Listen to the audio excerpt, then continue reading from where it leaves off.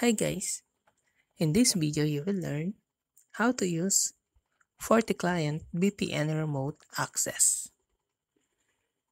To do that, install your FortiClient. So download and install FortiClient on your computer and then launch this application. Connect to the VPN. So to do that, launch the FortiClient and click on the remote access option. Click on the plus symbol to create a new VPN connection profile. Then enter a name for your profile.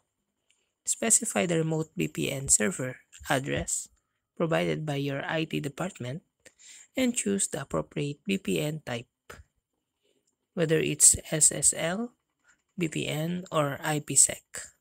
I prefer the IPsec option. Then configure authentication settings, including your username and password. And if required, set up additional authentication methods such as tokens or certificates.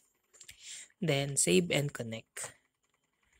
After you save and connect, enter your credentials as required. Then establish connection.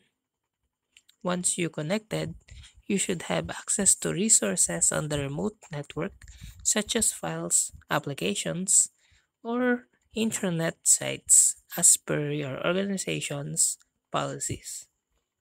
Then when you're done using the VPN, disconnect by clicking the disconnect button in the FortiClient interface. And then you can close now your FortiClient when you're finished using the VPN. So that's how to use FortiClient VPN remote access.